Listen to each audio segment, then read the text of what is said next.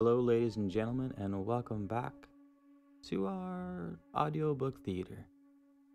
I am your host, Keyth, man of letters, here to bring you knowledge, information, and hopefully, at the very least, a bit of entertainment. Today, we are reading the Gospel according to Mary Magdalene. We will be reading a foreword by the Dr. Karen King and commentary, uh, without which understanding the gospel as it's written verbatim is almost impossible to someone who doesn't study the Gnostic texts. So we will go over that first. Let us begin with the archive notes. The Gospel of Mary is found in the Berlin Gnostic Codex. This very important and well preserved codex was discovered in the late 19th century somewhere near Akhmim in Upper Egypt. It was purchased in Cairo in 1896 by a German scholar, Dr. Karl Reinhardt, and then taken to Berlin. The Codex, as these ancient books are called, was probably copied and bound in the late 4th or early 5th century.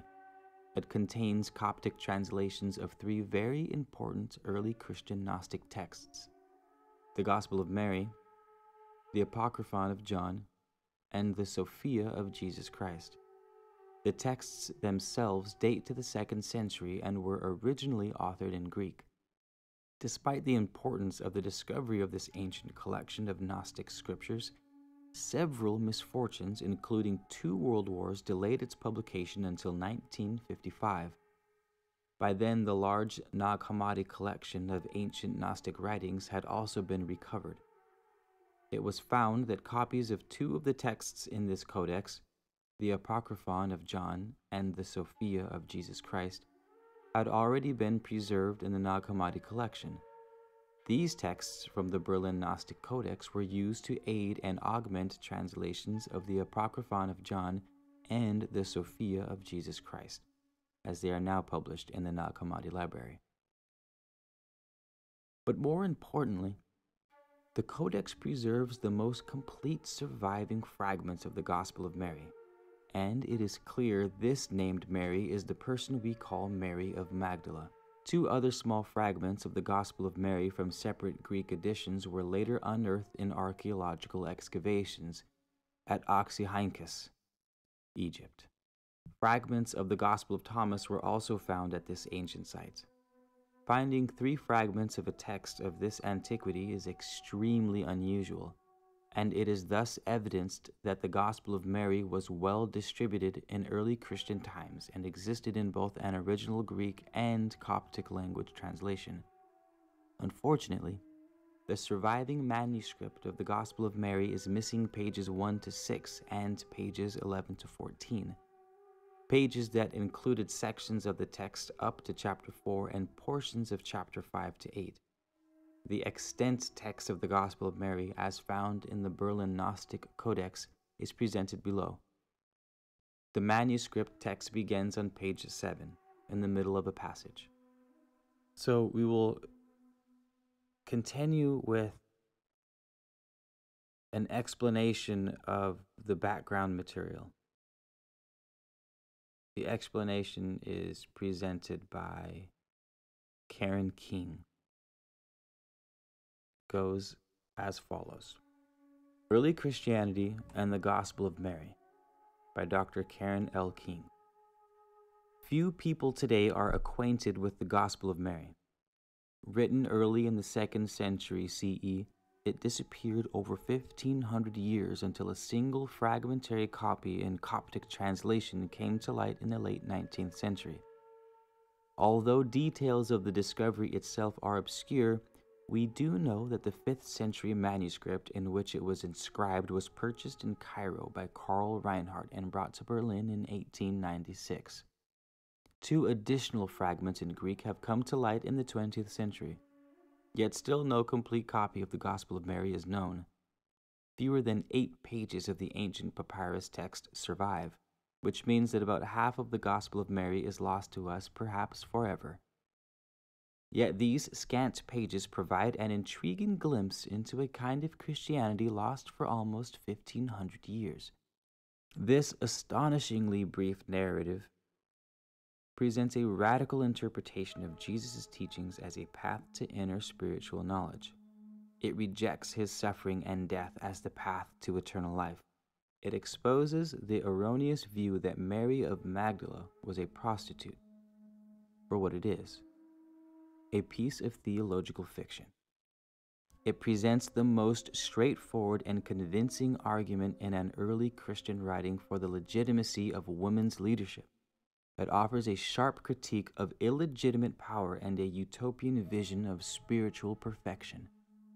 It challenges our rather romantic views about the harmony and unanimity of the first Christians, and it asks us to rethink the basis for church authority, all written in the name of a woman. The story of the Gospel of Mary is a simple one.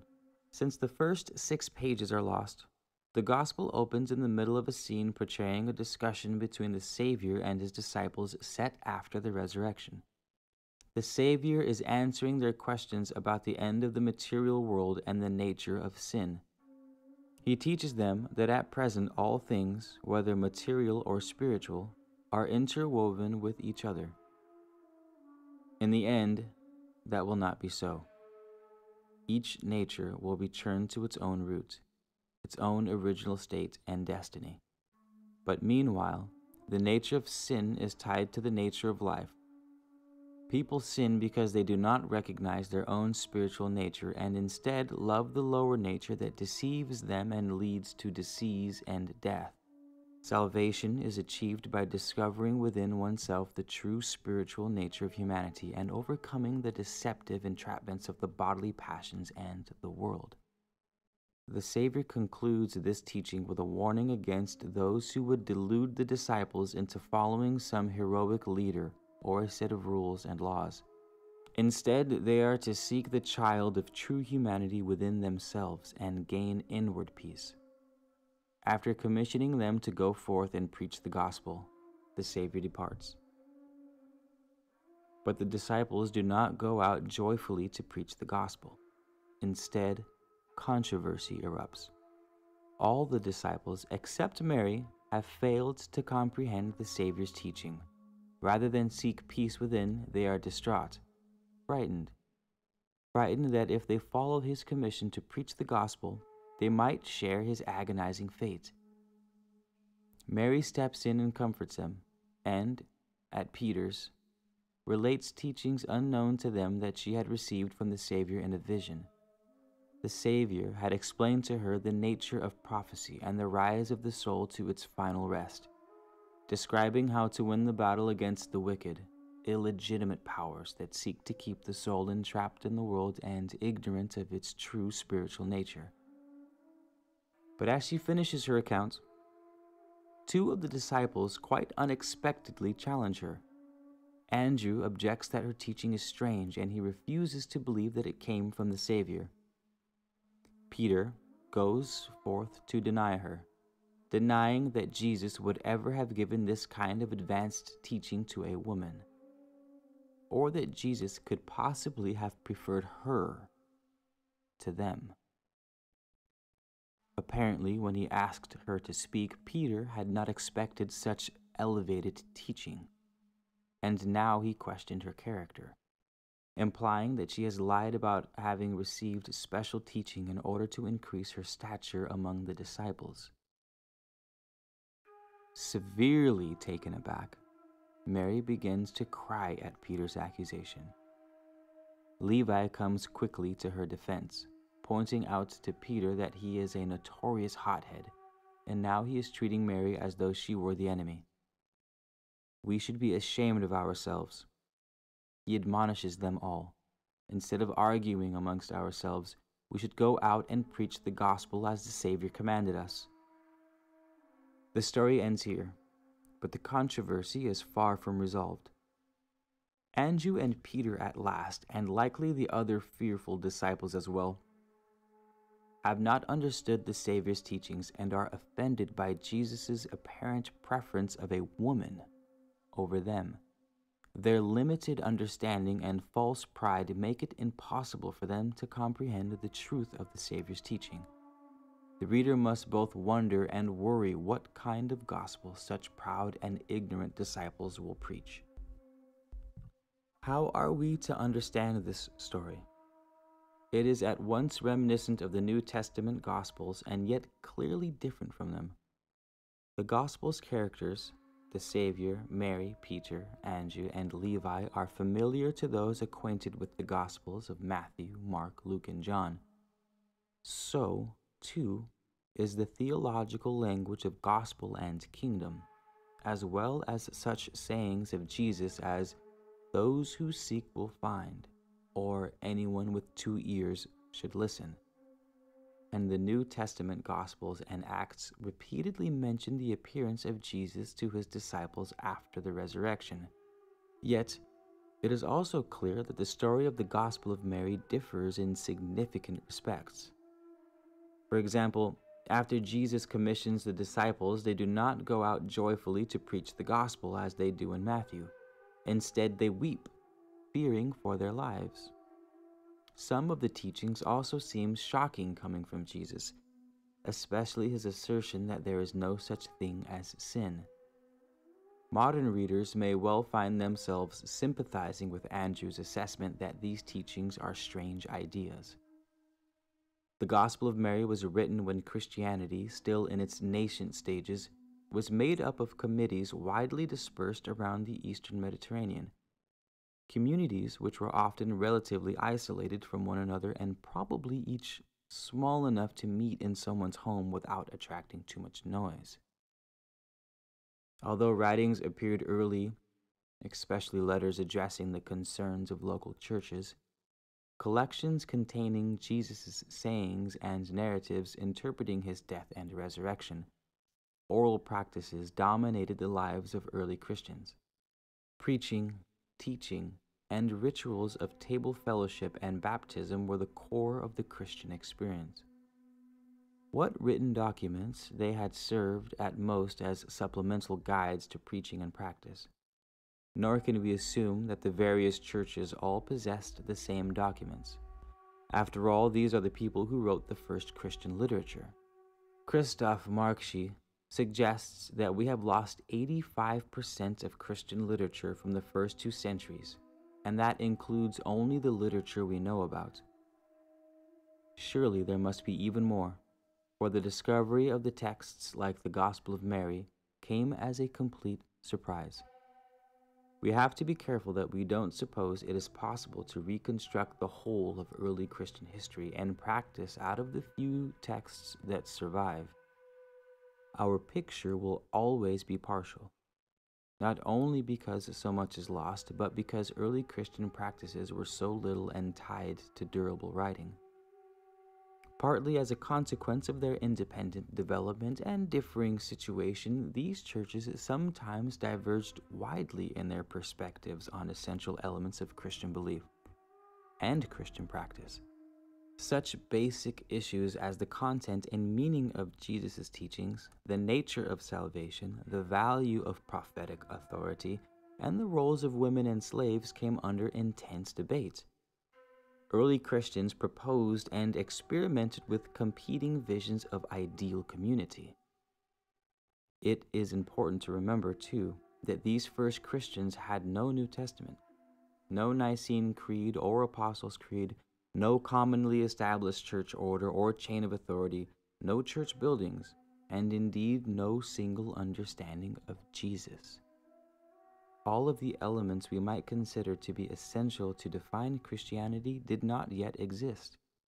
Far from being starting points, the Nicene Creed and the New Testament were the end products of these debates and disputes. They represent the distillation of experience and experimentation and not a small amount of strife and struggle. All early Christian literature bears traces of these controversies. The earliest surviving documents of Christianity, the letters of Paul, show that considerable difference of opinion existed about such issues as circumcision and the Jewish food laws or the relative value of spiritual gifts. These and other such contentious issues as whether the resurrection was physical or spiritual were stimulating theological conversations and causing rifts within and among Christian groups. By the time of the Gospel of Mary, these discussions were becoming increasingly nuanced and more polarized. History, as we know, is written by the winners. In the case of early Christianity, this meant that many voices in these debates were silenced through repression or neglect. The Gospel of Mary, along with other newly discovered works from the earliest Christian period, increases our knowledge of the enormous diversity and dynamic character of the process by which Christianity was shaped.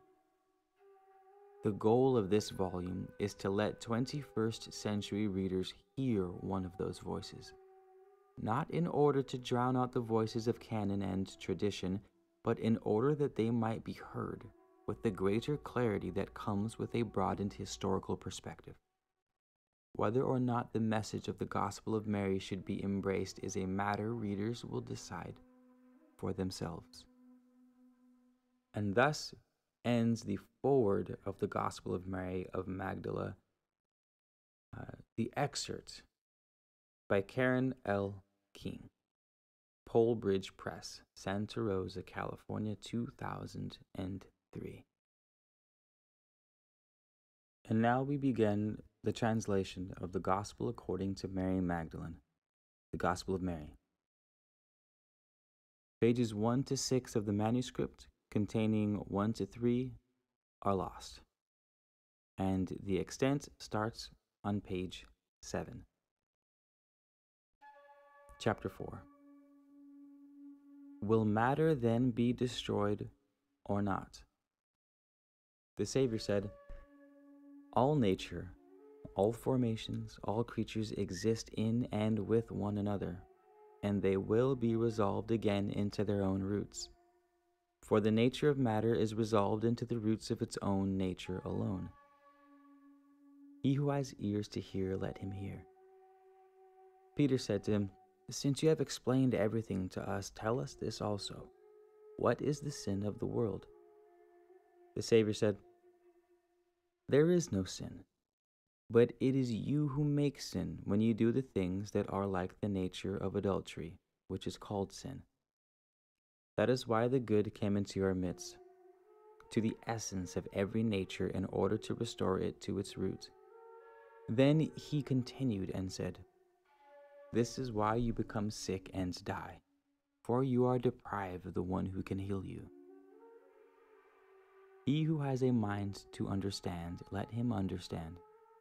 Matter gave birth to a passion that has no equal, which proceeded from something contrary to nature. Then there arises a disturbance in its whole body.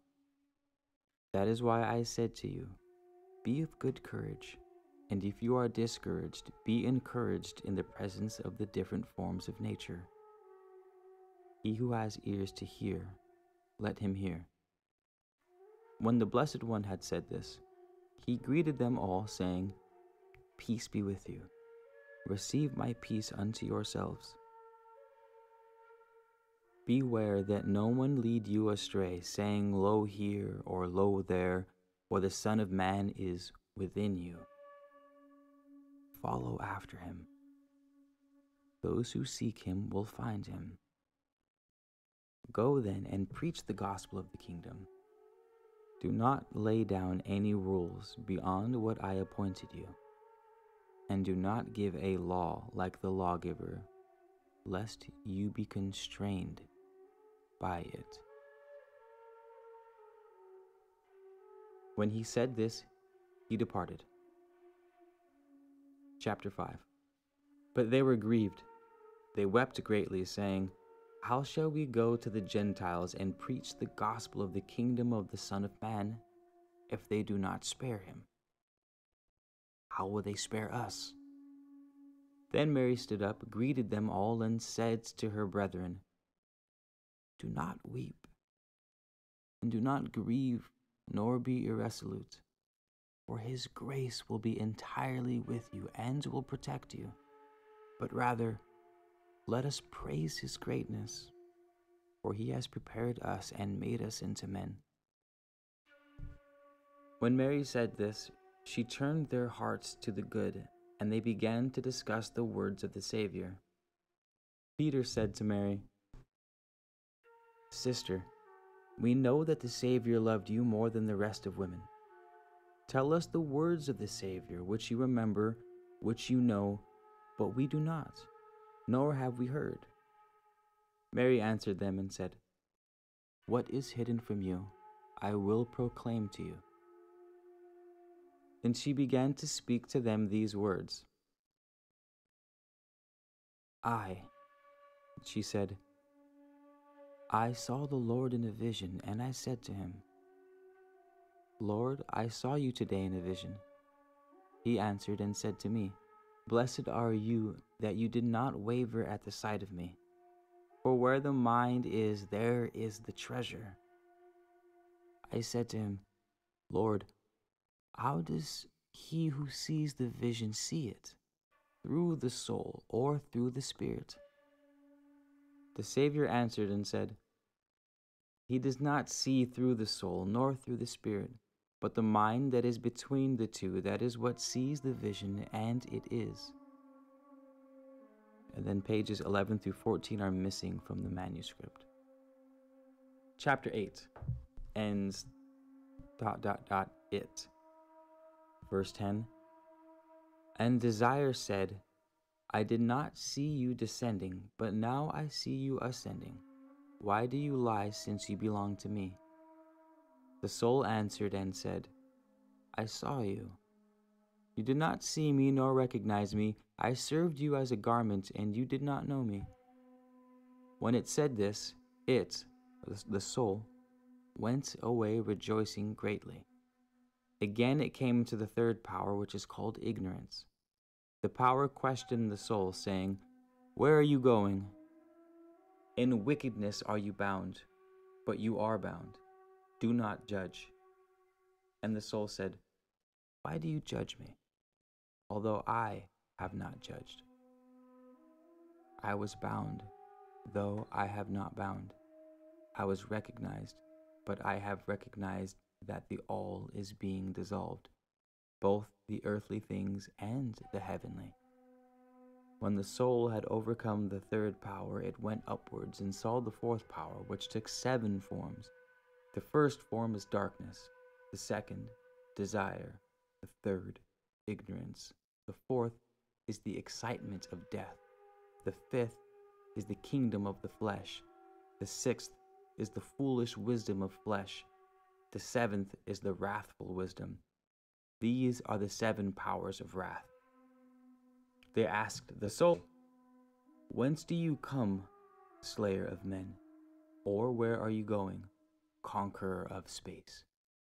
The soul answered and said, What binds me has been slain, and what churns me about has been overcome. And my desire has been ended, and ignorance has died.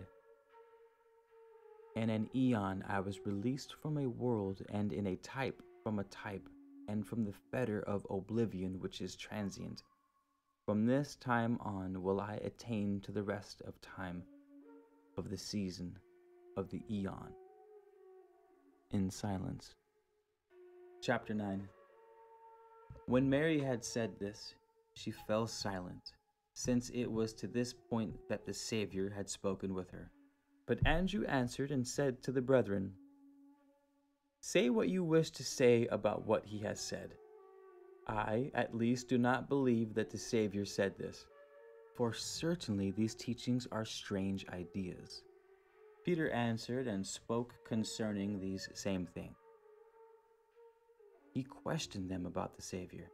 Did he really speak privately with a woman and not openly to us? Are we to turn about and all listen to her? Did he prefer her to us? Then Mary wept and said to Peter, my brother Peter, what do you think?